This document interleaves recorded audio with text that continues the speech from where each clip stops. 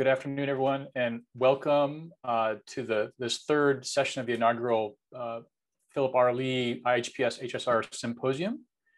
Uh, this is originally scheduled as an in-person event last May, but for obvious reasons, we're now moving to a virtual format. Today's presentation topic uh, is health system and community uh, embedded health services research. Uh, this topic really tries to emphasize how to link health services research, implementation research, and community-based participatory models into what we would call a learning health system model. So excited to get into that topic today. I should also introduce myself. I'm Andy Auerbach. I'm a hospitalist at UCSF and really glad to uh, uh, moderate this today's session with four amazing scientists who I consider really leaders in these methods. Uh, I can't introduce them as fully as I would like, so my apologies to them for the brevity of this introduction. I'm going to give them a quick uh, for uh, quick intros, intros for each of them. Uh, Julia Adler Milstein is professor of medicine and director of the Center for Clinical Informatics and Improvement Research here. Her work focuses on policies and organizational strategies that enable effective use of electronic health records and promote interoperability of electronic functions between systems. Naomi Bardach is an associate professor of pediatrics and policy in the Department of Pediatrics and at IHPS. Her research focuses on improving the quality of inpatient and outpatient pediatric care with a foundation in implementation and dissemination sciences. Michael Steinman is professor of medicine in the Division of Geriatrics at the San Francisco VA. His research focused on identifying and improving the quality of medication prescribing in clinically complex older adults, particularly in approaches to deprescribing unnecessarily or potentially harmful medications in those patients. And finally, Jinoos Yazdany is chief of the Division of Rheumatology at Zuckerberg San Francisco General, San Francisco General Hospital and the Alice Betts Endowed Professor of Medicine there. She co-directs the UCSF Rheumatology Quality Informatics Lab, a group that uses health services research, informatics, and implementation science to inform national healthcare improvement initiatives. Again, that was far too brief for each of their amazing accomplishments. I'm going to hand the mic over to our first speaker this morning, Dr. Adler Milstein. Thank you so much, Julia. Um, well, thank you so much for including me in this terrific panel. Um, we are, um, I think, each going to use uh, slides in a limited way. Um, and so let me just pull mine up. I um, did want to start with perhaps a bit of a broader perspective on um, uh, learning health system. there's lots of ways to uh, define it and understand it, but I'm going to start with the way that I think about it uh, and understand it um, and as a way to get into sort of what does embedded learning health system research look like um, and where there are opportunities to do that. Uh, as Andy said in his introduction, I do come at this from an informatics perspective. And so um, my take on this will be one in which uh, the notion of sort of informatics as a platform on which to learn is, is very central uh, to the way that I see the opportunities and the examples that I'm going to give. Um, but, but fundamentally, when we think about a learning health system, it's the notion of, of this learning health cycle uh, in which there is data available uh, that we analyze in order to generate knowledge. We then feed that knowledge back into practice or performance. Uh, and then um, uh, the whole point is that this is an ongoing cycle in which we then assess whether that new knowledge in practice is uh, improving uh, outcomes or not, this notion of performance. And then that feeds right back into this cycle again. So this is, I think, a very general uh, way of thinking about what does it mean to be a learning health system. It is one that engages uh, in this cycle uh, around, you know, health problems of interest. When I see this cycle, um, I really see sort of the electronic health record or sort of digital health tools and platforms as, as fundamental uh, to being able to, to do this kind of work. Um, and that is because first and foremost, uh, the electronic health record is an incredible source of data. Um, and it's hard to think about research that's done today to generate new learning and knowledge uh, that's not pulling data in some way from an EHR. Um, so I think that's the obvious way that it fuels this cycle. Um, but equally important uh, is thinking about the EHR as a knowledge delivery platform. Once we have identified new knowledge, uh, we then think about how do we feed it back into the EHR because the EHR is what is in the workflow of uh, the key uh, uh, stakeholders and, and, entities who are making decisions um, that, that impact uh, performance. So these are doctors, nurses, um, you know, ancillary care providers, et cetera. Um, so, uh, so the EHR is also a knowledge delivery platform. And perhaps the classic example is we think about, well, we have a new clinical guideline um, or an adaptation of a prior clinical guideline. And so we then go into the EHR and update the associated uh, alert or, uh, or sort of clinical decision support tool that's going to deliver that knowledge um, at the point in time. So again, I think it's a pretty familiar way to think about that knowledge to performance piece in terms of the informatics tools that support it. Um, but I think uh, equally important, but often uh, not, uh, uh, that doesn't receive as much attention in this cycle. And it kind of comes about as you're moving from knowledge to performance back into performance to data, is that the EHR itself is actually a very powerful behavioral intervention. That the way that we uh, introduce uh, decision support alerts, where we choose to put them, how they uh, how they are sort of visually presented, right? All of those are decisions that have an incredible um, uh, sort of uh, power uh, uh, to influence behavior or not. Um, and so if we're really going to think about embedded learning health system research, we can't just think about um, uh, the knowledge that's fed into that cycle, but we actually really need to think about uh, the way that we are sort of presenting and trying to use that knowledge to influence behavior um, and really study that. Are we actually affecting the behaviors that we think we are affecting or not? Um, and so if you put uh, an alert up and it is dismissed 95% of the time, uh, we have probably broken this cycle. We have not actually achieved the intent of learning. Um, but in order to know that, you actually need to measure how often is an alert dismissed or not. And that's a measure of behavior.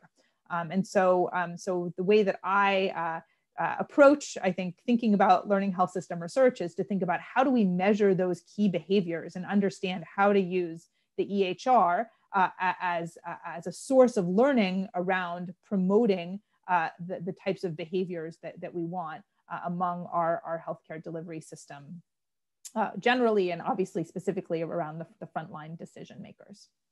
So that's sort of a general way of, of thinking about this. And, and it's the reason I think that it's so powerful is because um, we have examples from almost every other context other than healthcare in which they've recognized that the way that you understand how to design digital environments is by studying how users are operating within them. Um, and so, um, so we think a lot about, oh, this, you know, huge transition from paper to digital, right? From going from paper bookstores uh, uh, to, uh, you know, to the first version of Amazon.com when it was launched in, in 1996. Um, but actually, I think the more powerful transition is when we think about where Amazon started to where it is today and the way that our behaviors on a daily basis on this platform are influenced by the way that we interact with the platform and the design decisions uh, that Amazon makes about that. Um, and so again, where is their opportunity to learn? Uh, it's really this opportunity to learn uh, how to uh, design digital environments uh, to, uh, to sort of promote um, the behaviors and outcomes that we want. So obviously in Amazon's case, it's pretty simple. You know, they are studying user behavior on their platform, like, you know, every moment of every day. Uh, they look at what you put in your cart and then they look at what you buy. Um, and they essentially learn uh, uh, about how to change the design of, of their website based on that. I think that there is a direct, albeit more complicated parallel in the learning health system context, uh, where we think about how do we measure and monitor the behaviors that are going on in our health system? how are our uh, you know clinicians uh, interacting with EHR data? How are they um, you know sort of absorbing uh, uh, all the information that we are sending at them? How are they reacting to clinical decision uh, support alerts, et cetera? Um, we then uh, understand you know what care decisions they make because of it, and then the outcomes that patients experience. So when I think about the learning health system, to me, this is the model um, that, that health systems should be using and adopting to really understand and learn about um, you know how, how to make that learning health system cycle work. Uh, the reason I think it's so powerful in terms of the opportunities for learning is because Amazon essentially controls their user interface design. One thing, um, it's a very powerful thing, but like fundamentally, that's what they can tweak and, and they tweak it very effectively. Um, but a health system actually controls a much broader range of tools. They can not only change the look and feel of their EHR, which is you know uh, complicated but but but but still doable but they can change pathways and protocols, the way that clinical teams are structured, workflow, and even up through education and training. So if we can really learn about uh, what, what works in terms of uh, designing and delivering interventions through the EHR, we then can use this broad array of tools to, uh, to continue to, uh, to, to improve that. Um, so all of this is really enabled by the recognition that we, we are today capturing data on how uh, our, our frontline users are interacting with the EHR. We are actually observing and measuring that in the same way we're seeing what medications are patients taking or what are their diagnoses. The same EHR platform that captures all the clinical data is, is also capturing all of this different user data. Um, and I think most people aren't even aware that it's there to be integrated into learning health system research. Um, and so the research center I run is, is very much designed around the opportunities that are afforded by using these data to understand how clinicians are interacting uh, with the electronic health record, um, and then being able to tie that to what care decisions are made and what outcomes patients experience. Um, and I think that this opens up a whole front for learning uh, that we've never had before. And so, as we have pursued this work at UCSF, uh, we have started to see all of the different um, ways in which it can contribute to, to learning within our health system. Um, and so, I just want to uh, spend the rest of my time giving you some concrete examples of, of what this looks like. So, the first is um, uh, is an example of, uh, of just, it wasn't even an opportunity and an identified opportunity for learning.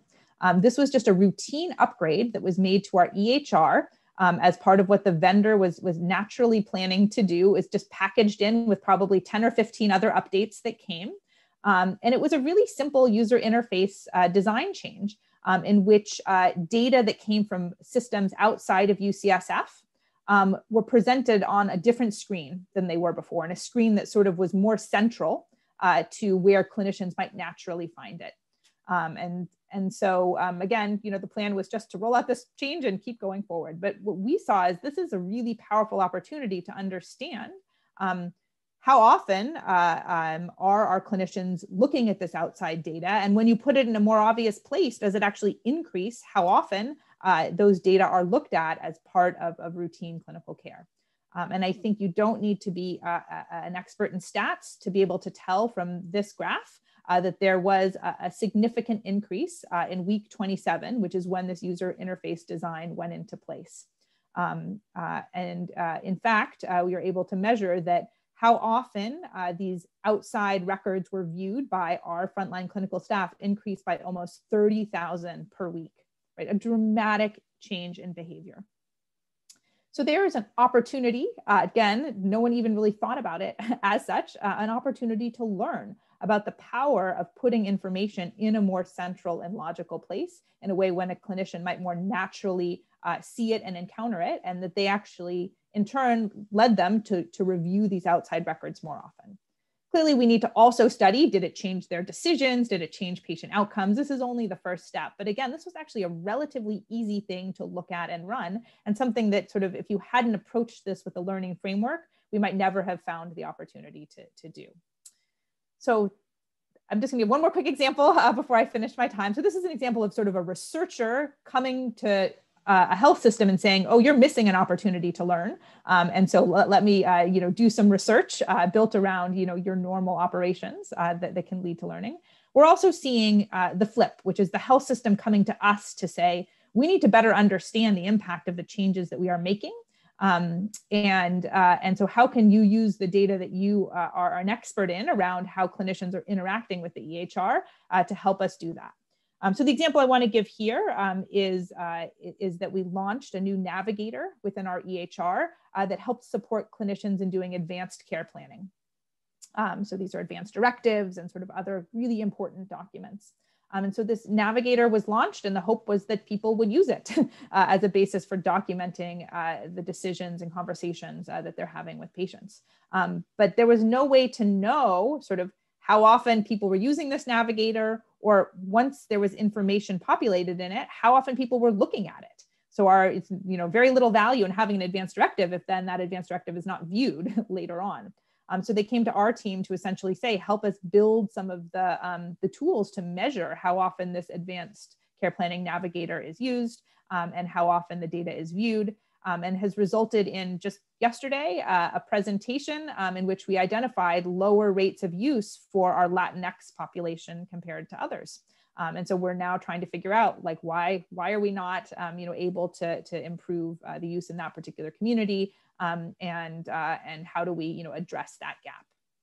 So I hope those are sort of concrete examples of where there's been opportunity to do sort of both pull and push learning um, when you see the EHR as a way to measure behaviors and behaviors that are essentially um, uh, critical uh, to, to ultimately improving outcomes. Um, and I hope that that's a, a, way that we can shift to think about embedded learning health system research uh, and use really the full set of data that are available in EHRs uh, to understand uh, the optimal way to, to go about the learning health cycle.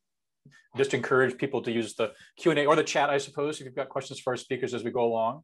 And we'll also try to save a couple to the end, but I'll make sure we get to our next, next speaker, uh, Dr. Bardach. Thank you. Um, so uh, uh, I think this is a nice combination with with um, Julia's presentation because um, uh, it's they're both focusing on some form of data that we could access in order to help um, feed the learning healthcare system. Um, Julia's focus was on EHR data. My focus is actually on observations of um, care from family, uh, families and patients. So uh, focusing on the learning healthcare system, the project i am going to be talking to you guys about as an illustration of that is family input for quality and safety, also known as the FIX um, project. And um, we know patient safety issues persist. You know, since To Err is Human came out more than 20 years ago, we've been trying to work on patient safety, still a problem as of 2013, still a problem as of 2021 we know that the um, patients and family members in the room are often the closest observers of patient care. So there's data from Yelp, from HCAHPS, and Facebook that all show that the um, ratings that people put onto those sites are associated higher ratings, lower um, uh, outcomes such as mortality, such as readmissions, um, it, uh, it's a pretty consistent um, set of findings. And then more specifically, um, there's a study done uh, by Daniels et al. and Weissman et al. showing that families and uh, patients and families when reporting safety events capture more adverse events as confirmed by staff than our incident reporting system, right? So our safety reporting system, the incident reporting system, just we know it's not a, a highly sensitive system. So um, uh, only two and a half percent of the things that were identified um, as safety complaints uh, were also um, uh, were identified by the clinicians in the system. So what's our challenge? We know that patients and families see things, but we're not always capturing that information. We have a delay in the system, even in our HCAP system or Press Ganey system, we have a delay in the system for getting any observations um, back. And almost uh, almost nobody leaves actual sort of written text in those uh, surveys. Uh, so we have very limited details about what happened. Um, and so the hypothesis is that with better safety information, um, we could potentially improve patient care more rapidly. So the opportunity is um, there's a this this work builds on our R21 that that um, uh, supported an earlier study in hospitalized children using mobile phone technology to gather information from patients and family members, uh, which included text messages sent at 2 p.m. each day using a mobile responsive website. The information was then made available to members of the healthcare team in order to improve patient care. So that's the learning healthcare system piece we powered by um, family and patient observations, and it was discussed at team huddles. And these are just some visuals for you to be able to see. This is what somebody got when they were part of the, uh, as a text message at 2 p.m. Um, there's a splash screen making sure that people understood that it, it couldn't be used for emergency purposes um, and also uh, that it would be um, an anonymous system. And we, we can talk about the pros and cons of the anonymity in a bit. Um, this is the next screen. And then people got a very specific set of, you know, categories, helping people to categorize what, what, what does it mean to, to um, uh, think about safety? What are the categories we, we, might want to use? We walked them through this when we enrolled uh, patients so they could get a shared conceptual um, sort of framing in their brain. And then there's subcategories that were based on uh, literature reviews about what subcategories might be um, observable by patients and meaningful and actionable for clinicians um, or for uh, safety efforts. Um, and we reviewed all this with the Family Advisory Council. So getting um, input, uh, of course, from family members and building this kind of tool is quite important for doing co-design. And then we had a specific section on um, uh, that allowed for free text details. We got uh, pretty rich information actually from almost every data entry. Um, so this piece was actually a, an important component. Um, the one other thing to highlight these, so it was over the course of about six months, we had safety events um, about 122 safety events, not a huge volume. People were a little bit worried at the beginning, oh my God, what if we get tons? Um, the what went well category is an important one to sort of highlight for two reasons. It was something that came up when we were doing our co-design process. We did not have the what went well. We did some usability testing on the unit um, in the MedSurg uh, unit where we were doing the project. And people said, hey, can we say what's going well in addition? Those comments, you can see there's actually a fair number of comments, 30 out of the 122. Um, they were really helpful for when we would review them in the safety huddle. It would help people psychologically, sort of, if there was a comment that was saying that was, you know, a constructive slash critical comment, it was also really nice. At least um, every time we did it, there was at least one comment that was also a, a, a you know, appreciation, um, which I think helps psychologically with people as we do this work together as part of the learning healthcare system. Is actually, it's good to also uh, not just for psychological, like, oh, rah, rah, yeah, that sounds good, but also directionality that people should be able to hear what is it that is working well that we should maintain, as well as anything that needs to get fixed. So, um, so I think that was a, it was a useful insight for us. Um, our next iteration is now an R01 that is uh, underway. Um, it adds other populations and settings, including the newborn nursery, the um, pediatric intensive care unit, the hematology, oncology, and BMT units, all at um, UCSF Benioff Children's Hospital, San Francisco. And then we're also um, uh, implementing it at Zuckerberg San Francisco General Hospital in the pediatric um, med surg unit, as well as on the newborn unit, um, which includes neonat the uh, neonatal intensive care unit. And we're including a pilot in adults. Um, we're doing a couple tool modifications. We'll do it in English and Spanish because we didn't have Spanish in the first version. Um, we're going to add an option for a patient to be contacted by the care team if they're comfortable. So I'm going to take an extra minute to talk about anonymity. We made a decision in partnership with the Family Advisory Council in the first iteration to make things anonymous. All of the comments put in guaranteed anonymity to the care team. We could, we on the back end could see it, the research team could see it, so we could link it to the EHR as long as somebody had signed a, a HIPAA consent. Um, but nobody on the nobody on the care team would know who had made any given comment. The strength of that is that it allows people to feel less worried about um, having their care change it'll it generally speaking we felt like including the family advisory council we all felt like it would encourage people to participate um, the downside is that it's harder to go back and ask questions about what might have happened. So we, we weren't going to go back and query anybody and get more details to understand things. And then also it meant that people couldn't do service recovery. So there were definitely some people who were like, when we went over it in the huddle, there was some of the nurses and some of the physicians said, I'd really like to go back and talk to that person and, you know, help make it, make things right. Um, uh, or explain and clarify something to help them out. Um, the the literature, there's an interesting paper that came out from BMJ Quality and Safety by Kaveh Shojania, which actually pointed out that in a system where they did allow for non-anonymous comments, is that there ended up being a lot of energy spent on service recovery and not on systems learning because people got a little bit distracted by the service recovery piece. So this anonymity piece is a really important piece. How do we, how, how does it interact with whether a patient engages and how does it mean, how does it drive what we do as an organization?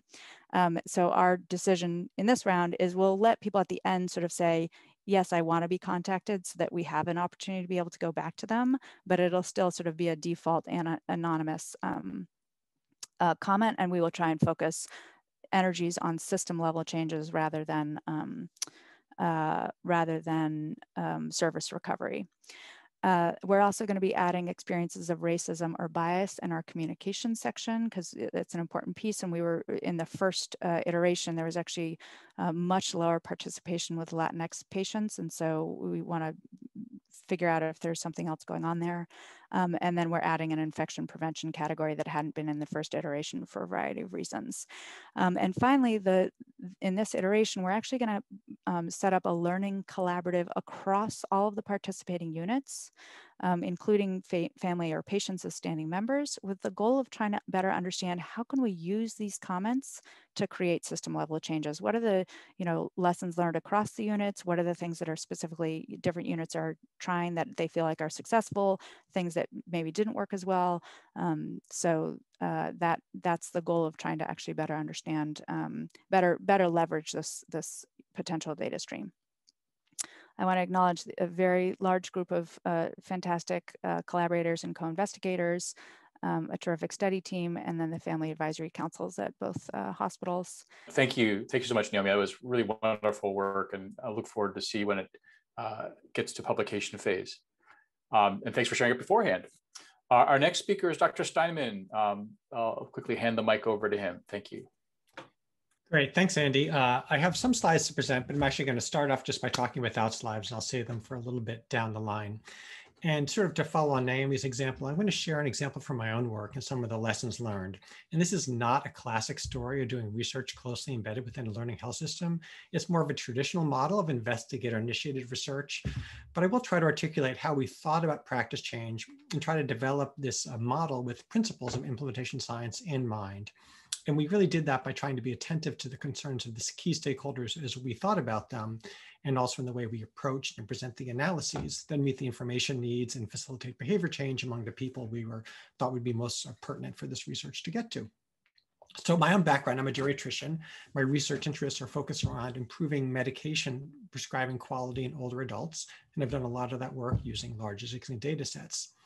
But this research came out of my own clinical experience. I was in clinic one day, or actually a series of days, this is probably about nine years ago, and I saw two patients in fairly quick succession and they were older adults whose blood pressure was normally fine. They'd been recently hospitalized for things like pneumonia, fairly sort of self-limited conditions.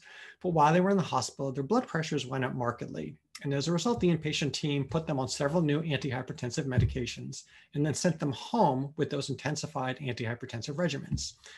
And so then, not surprisingly, when they came to see me back in clinic about a week after discharge, their blood pressures were through the floor. Unfortunately, neither one of them has suffered an adverse event, but they were kind of on the verge of happening due to their low blood pressure. So this got me thinking, and I looked, started looking in the literature, and I realized there was almost nothing written about this topic, either empirically or even in the form of commentaries. So actually, I connected to Andy, and Andy and I had the pleasure of working together, and we wrote a commentary that was published in JAMA IM we got some good feedback and encouragement. And so this led to some further work with thinking about how we could explore this uh, question empirically and had the good fortune of getting funded by from the NIA to do just that. And so the studies that resulted this were a series of studies that were done within the VA healthcare system. And this is a great system in which to do this kind of research, both because the data elements are fabulous for measuring these kind of things, and also the VA is a national system that provides widespread opportunities for implementation. So we did this using two conditions. Hypertension and diabetes is sort of model conditions for this broad phenomena of intensifying therapy for chronic diseases. In a particular, for each of the diseases, we looked at the epidemiology of how often people's medication regimens were intensified in the hospital and they were sent home on more aggressive regimens for hypertension and diabetes than they came in on. And then we also looked at the outcomes of those intensifications. Now, to be clear, like I said in the beginning, this was not a problem that was solicited by the health system. It was really not on their radar screen. It frankly, wasn't really on anyone's radar screen. But in thinking about what the work we were going to do, we really thought our target, target audience was hospital-based clinicians. In particular, we thought about what would be sufficiently compelling that the findings of our research would help to grab their attention and subsequently would help to change the practice to the extent to which we found, because we didn't know yet if practices were problematic. And the way we tried to approach that was by focusing on what's clinically important and clinically sensible.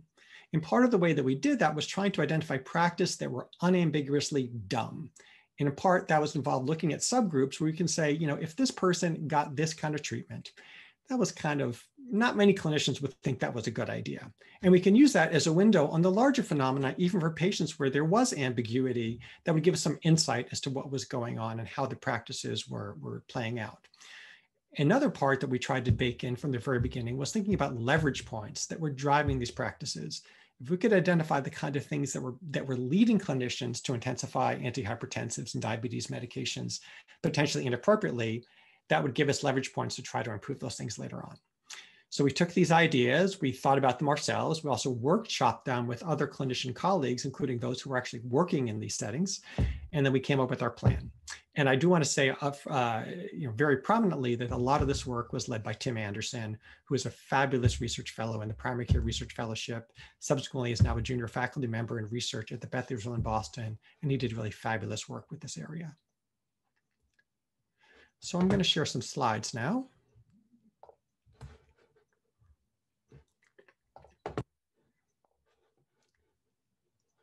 Right.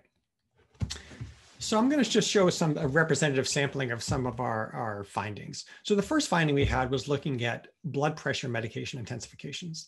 And we found that 14% of veterans who were admitted to the hospital for a reason that was not related to any kind of heart or brain issue had their blood pressure medicines intensified. That is, they were discharged from the hospital on more or more aggressive blood pressure medications than the medications they were taking at the time of admission.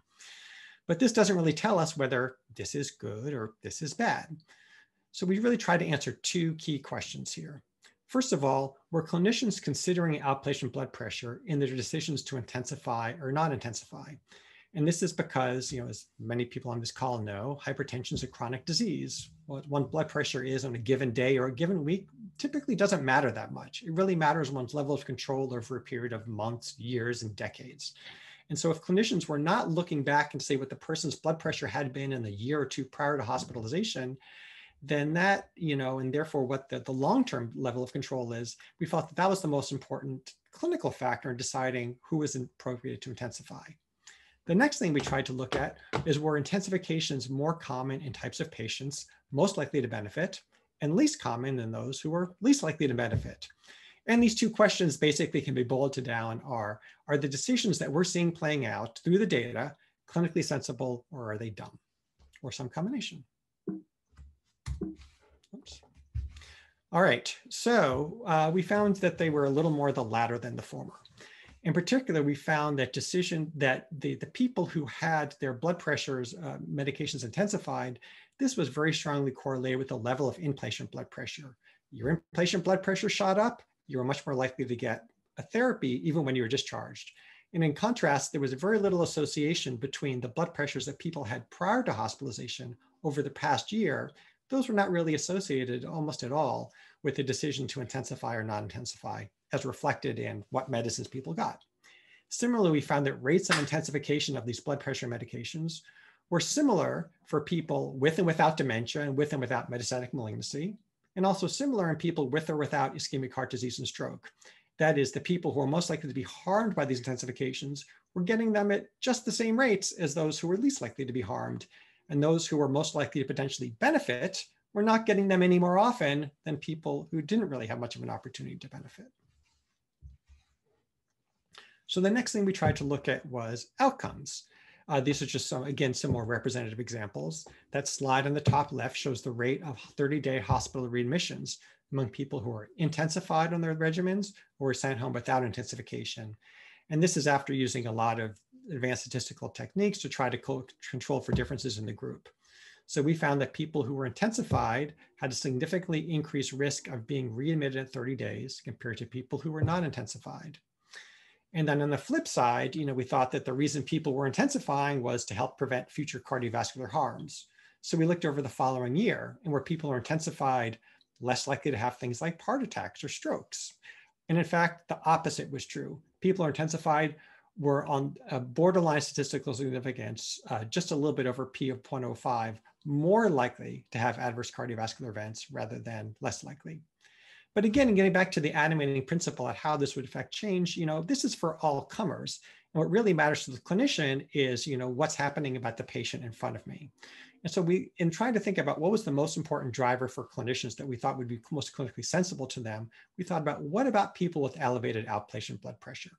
That is, that's the group in whom you know, there's probably the most clinical justification to think about intensifying therapy. Because if someone's blood pressure is high chronically over a year prior to hospitalization, one can make the argument that while they're in the hospital, it's a good time to intensify their therapy and get them on a more aggressive regimen to go home with.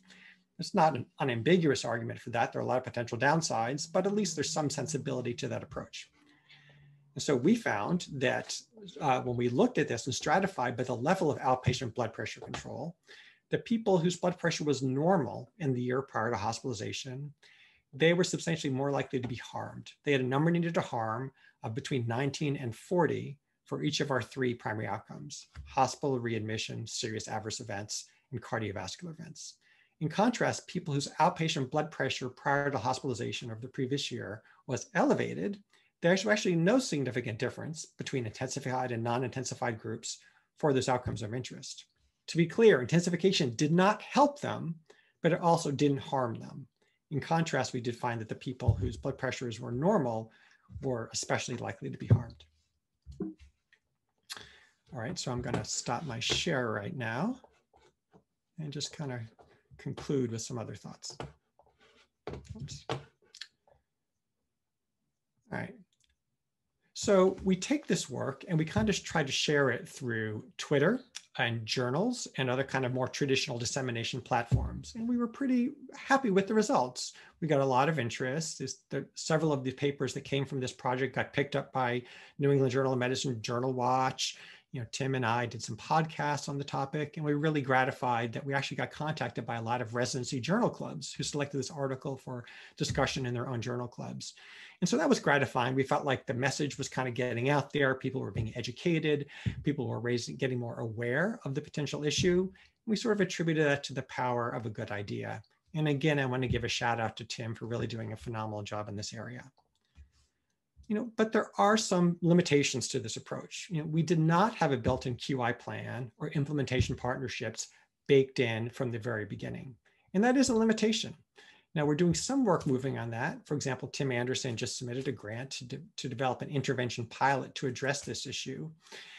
And the final thing I want to say about this is I don't think all health services research needs to automatically be intimately baked in with the learning health system. There is a role for this research. You kind of come up with a good idea. No one's really thinking about it, but you think it's important and you advance it and kind of get it on the radar screen that way.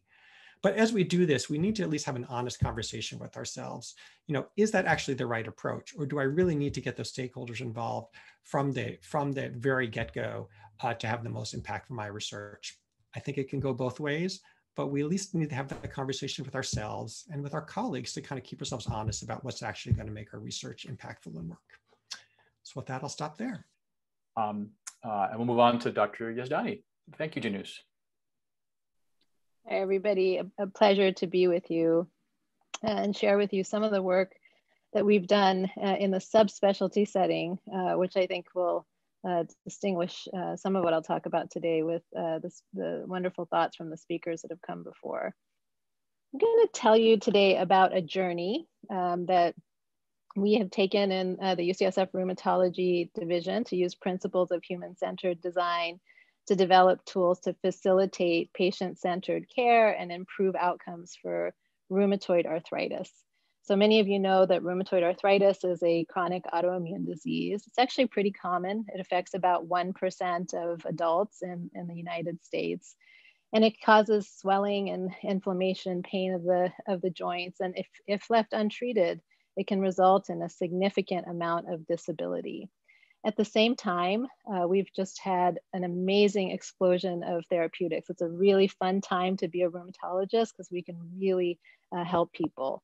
Um, but sometimes there's a gap between the tools that we have uh, and our ability to improve patient outcomes. And I think this is really a case where population health management um, and having a standardized approach to care is very important.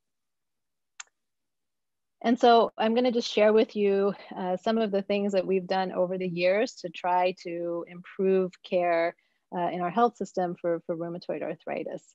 And I'll start in 2013. And this was the year that um, we, we started to you know, think about how we could actually measure outcomes in rheumatoid arthritis in our patients at, at UCSF. Um, I think it's very important for us to be able to track patient reported outcomes. So this is a disease that affects people's function. It uh, can diminish quality of life. It's associated with pain. And being able to track those things longitudinally is very important for being able to manage the disease. And at the same time, rheumatologists love to count swollen and tender joints. And we wanted the electronic health record to help us you know help us track um, these things over time. For example being able to see the tender and swollen uh, joint count change as we as we uh, change treatment.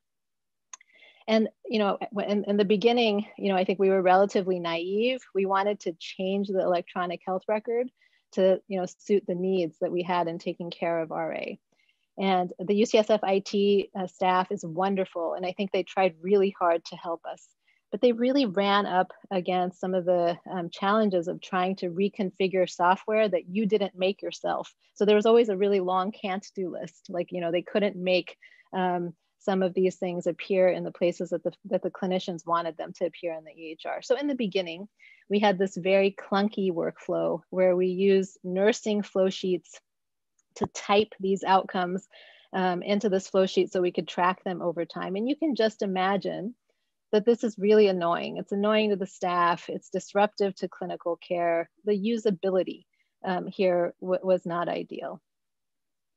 Nevertheless, we have you know some very motivated clinicians, and we were able to over time, um, you can see in this run chart, collect these outcomes pretty reliably in about 60% of visits over time. And I think this this was a really important first step. It allowed us to do a lot of research, to do population health management, to see you know how our patients are doing, to study disparities, things like that. And you know, having um, a clear sense of what we wanted to do but couldn't do allowed us to then you know work with uh, Epic at a national level to try to build some of these rheumatology tools into the electronic health record. And I think this was really key. You know, the, the software developer has a lot more flexibility in terms of increasing the usability um, of, of the EHR. And so they were um, able to, over a few years, build you know some of these tools for for rheumatology and then and then you know put those into the foundation software. So now rheumatologists all across the united states when they update epic can you know have these tools at the ready. Um, so we love to count our swollen and tender joints. So they made this wonderful homunculus for us and they created these timelines so that we could track the outcomes that we really wanted to. But we still felt like you know this wasn't quite you know there yet. So it was it was progress but but not enough and so we got some funding to do some additional human-centered design work with clinicians and with patients to really try to take things uh, to the next level um, try to understand you know how people are interacting with the ehr during rheumatoid arthritis visits do design iterations and really work in a multidisciplinary team and, you know, I think one of the things that was very unique about this project is that patients were front and center. We sort of envision this future where the EHR is not just a documentation tool for doctors, but it's actually a tool that we use in clinic to share data with patients. And therefore, the input of patients was very important. And so, you know, we did lots of interviews and observations. This is, you know, classic sort of implementation stuff, lots of focus groups with patients and providers and then worked with the School of Medicine uh, uh, tech team uh, who were wonderful to do lots of designs uh, and prototypes. And, you know, I think the, the patient focus groups were especially fun. Uh, we, you know, asked patients to share with us the data that they wanted to see. You know if they were if they, they were the ones living with rheumatoid arthritis what were the what were the outcomes that were important to them that they wanted to track over time? Um, and we asked them to sort of act out their ideal clinic visits. And we actually asked them to make their own dashboard. Like if they could you know make make a customized dashboard to follow the things that they wanted to do what would it look like? Um, and then you know with that information we started to construct you know what we wanted uh, the ehr to be able to display uh, in, in uh, these ra clinic visits and you can see here that um, uh, th this is just an example um, of following uh, RA symptoms over time. So behind this is the disease activity scores that rheumatologists like to follow and the tender and swollen joint counts, um, uh, patient reported outcomes regarding function and pain, and all of this tracked against medication changes. And then of course, um, laboratories, which help us follow side effects of medications.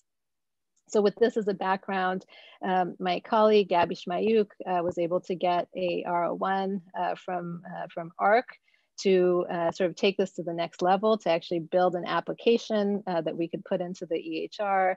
And I'm happy to say that uh, we um, have a Salesforce app that's complete and sort of ready, ready to go. And our next step is really to perform a randomized controlled trial to see if this uh, improves usability and improves outcomes in rheumatoid arthritis. The launch of the app in Epic has been severely delayed, delayed just because of COVID-19 and the IT staff at the medical center really working on COVID related issues, but hopefully this trial uh, will be able to start soon. So what are my reflections um, on this journey that we've been on in, in rheumatoid arthritis? I think that this is a, a story of persistence. Um, it's hard to change the electronic health record. It's hard to do learning health system. uh, research. Um, it's been, you know, seven years since we we began on this journey. And I think, you know, one of the things is for, for in, in our cases, it's been really nice to do um, work at the local level with our local health system, but then also be able to interact with software developers at the national level um, in order to make uh, an impact. And, you know, I think people often say that change in healthcare is incremental. Um, and I think that's okay. You know, we uh, have a very clear vision of what we want. I feel confident that we have also engaged patients in this process. And I think the lessons that we've learned along the way puts us in a good position to incorporate new technology as it becomes available. Um, and so I think, you know, patience and persistence has, has really been key to this, to this research. So I'll stop there. Um, and I think we're going to go on to, to Q&A now. Well, that was wonderful. Thanks, thanks, Jinoos. We do have a question that I think Dr. Stein is starting to answer in the Q&A window. Please feel free to put them up there. Um, uh, but I'll take the speak, the kind of moderator's prerogative and maybe put out, a question out for each of you. Um, kind of inherent in learning health system work is this tension between the ideas that we as researchers think is cool and the priorities that the health system thinks is are important. Um, what are your do you have any uh, tips or experiences that kind of helped you figure out how to balance those two things or find the common ground? I am happy happy to start. I think it is really hard, um, and I don't feel like we, we've necessarily cracked that nut. But I think you know the health system signals pretty clearly, you know, what their priorities are and what measures they use to assess those priorities. And so I think for us, we have gone about that by trying to be sure that when we are studying uh, the questions of interest that we incorporate those outcomes. Um, uh, and so if we're going to show that something is working or not working, you know, doing it in relations to outcomes that the health system cares about is sort of, uh, I think, just a natural way to at least start that alignment.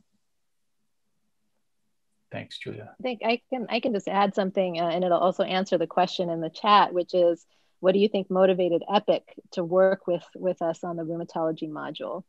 So um, some of the work that I didn't share today was our work to develop national quality measures in, in rheumatoid arthritis um, that entailed, you know, standardized measurements of patient-reported outcomes and disease activity scores, and sort of taking those through, you know, a, a national endorsement project, getting them into actually federal payment programs so that, um, you know, there's there's sort of an accountability um, pay for performance program for for rheumatologists. And I think because of those measures being in national programs, it gave us more leverage when we were working with EPIC um, to say this is, you know, these are parts of rheumatology guidelines. They're nationally endorsed quality measures. It's absolutely essential that you that you incorporate this into into your software. So I think the quality measurement approach has been um, very uh, um, helpful for us. I'll emphasize that also. I know because um, we also thought about when we went to hospital leadership with the fix project with the sort of gathering patient um, feedback and observations we the co-design process just to articulate it wasn't just with family advisory. You you do absolutely want to go and talk to your leadership organizational leadership make sure that they agree that it's aligned with their priorities um, and you know that there's a legal review if there's something that might come up legally. Um, and the thing that does really help is that because HCAHPS um, performance is a publicly reported and financially incentivized external um, quality measure, that meant that there was more alignment with organizational priorities as well for our project. So um, I think thinking about your external environment in addition to your internal environment can always be helpful. Even if the internal leadership might not be thinking about the external environment, you can point that out to people. So um, I think that's it. Uh, it echoes what Jinoos is highlighting, and I think a helpful lesson learned. Yeah, I'll maybe just add well, I'm sorry, go ahead, Andy. Go ahead, Mike. Finish up. Go, go ahead.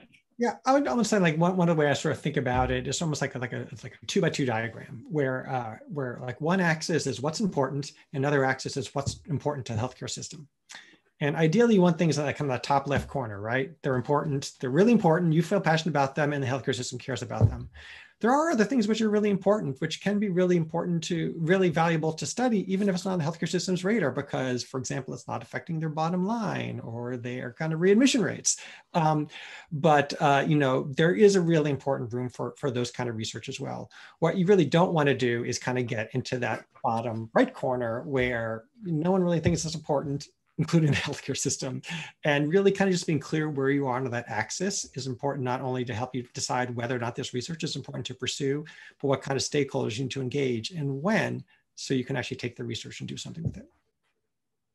Uh, thanks, Mike. I, the related question is the, the, the third uh, partner in this is the funders who have, a, yet a different set of priorities. One of our uh, uh attendees asks about whether anybody's figured out a way to use the opportunism that comes with, with following the NIH RFA releases every Friday and lining those up with what you see as the needs in your research or needs for the health system. Any tips or experiences there would be useful. Um, I'll, I'll, I guess I'll hop in. I think, and maybe I'll speak for Jinoos actually, because I know that um, thinking about quality measurement is an important piece for AHRQ. You know, always looking at what you know what what a funder's what, what their sort of priorities are. Um, uh, can always help figure out how to pitch your, your funding um, mechanism. Uh, I know for me, the NICHD is funding the, the R01 for the family um, and patient observations, and they, it's not actually historically something that really falls into their um, their portfolio, but this particular project, I reached out to the program officer and it, it ended up um, that they also had a very specific call for sort of a learning health systems um, uh, set of projects. They had a notice of interest, and so that mm-hmm. that helped. So paying attention to the signaling from any given funders, even if you think they might not actually necessarily historically be interested in it, it's still helpful to be sort of watching um, what what uh, what is coming out. And um, and so one very nitty gritty thing, which you guys might already know about, but there's a a um, email that you can uh, that you can sign up for to get a weekly summary of what all of the federal agencies are looking for in terms of new R01 um, RFAs that they're putting out, notice of interest, et cetera. And then just maybe a note that, you know, observational research, right, is like just a fundamentally easier uh, because you're not actually asking the, much of the health system or maybe nothing. Um, and so, uh, so you know, I think just thinking really carefully about where you want to push for doing some kind of you know intervention or work that involves changing the EHR or something else that really does require health system buy-in and involvement, and where you can actually make significant progress and address a funder's priority with a really well-designed observational study. Thank you. Um, and maybe, uh, sorry, Mike, did you have a comment? Okay, great. Um, maybe our last question before we wrap up is, is just a question about uh, how, uh, whether we, uh, have any best practices for bringing in voices uh, from patients and communities when you're doing human-centered design of your interventions. Sound like Naomi did some of that. Jinoos, you definitely did, but any thoughts for, the, for the audience to hear? Um, I'll say uh, sort of a lessons lessons learned. Um, uh, so there will be some health systems that already have a family advisory council or a patient advisory council, or we had like an adolescent uh, advisory council that was already um, standing up at um, Benioff Children's Hospital, San Francisco. Um, and so we already had a structure we could go and, and get feedback there. That that structure is not as robust at Zuckerberg San Francisco General Hospital, not for lack of good intention or lack of trying, um, but I think it's really important uh, because they serve a much more socially vulnerable um, uh, set of patients, it's much harder for a family eh, member or, you know, either an adult patient or, or particularly a family member with a kid at home, particularly a kid who might have gotten hospitalized for some reason, for them to be able to say, oh, I can take some time and come to a meeting or, you know, I'll be able to get a babysitter to, to, um, uh, you know, take care of my kid and uh, and I can commit to something monthly. So I think the issues around inequity of patient voice are actually really important. So some of the things that that um, people talk about, whether it's RWJ or AHRQ or um, folks, is making sure that you really think through the funding piece of being able to provide childcare, provide translation, make sure that you really allow for accessibility for patient voice, particularly in socially vulnerable um, uh, communities. You don't just kind of rely on people to be like, oh yeah, sure, I can do it, because you're gonna get um, either you're, you won't be able to organize it or you'll get a kind of funky biased sample of people who are able to say yes to that. The one other thing I'll add there, I think it's really important, is that the perfect is the enemy of the good here. I think a lot of people can be really intimidated. Oh my God, I need to get a patient advisory council. I need to have stakeholder engagement groups. I have no idea how to do that, so I'm just gonna like just ignore it. And um, having something just like just getting started and starting to go to that path you know gets you a pretty far away there. So you can figure it out as you go along but just don't be intimidated and feel like it's it's it's too far away to even try to approach yeah, and I'll, I'll add one other thing, which is um, that's a great point. Uh, we also are doing usability testing on the unit. So that means that we actually walk into the unit and talk to the families and patients and show them our thing and talk it through with them um, in real time. So then they're already sort of in the hospital, they're, you know, quote unquote, a captive audience. And so then um, there's another way of getting that feedback rather than doing a, a large structure of a patient advisory council. So that's just one other pathway to potentially consider. Well, thank you. This has really been a, a, a, wonderful, wonderful hour. I've learned a, a, lot from you all. We have a minute left, so I just want to thank you uh, again uh, and just remind the group that um, this is the second to last in this series. We'll have in, another series from the IHPS uh, on next Wednesday at noon. That will be on focus on healthcare value, which is talking about accelerating research on value at UCSF and beyond. Uh, George Sawaya from UCSF and, and Kat Lau, Tracy Lynn, Leslie Wilson will be on that seminar as well. Uh, so mark your calendars now um, uh, for that. And then also mark your calendars for the monthly health policy grand rounds starting on the March 24th at noon. Uh, again, we'll send those invi invites around separately. Uh, but again, thanks to Jinoos. Thank you, Julia. Thank you, Mike. Uh, thank you so much, Naomi. Uh, and thank you so much. And please stay in touch with IHPS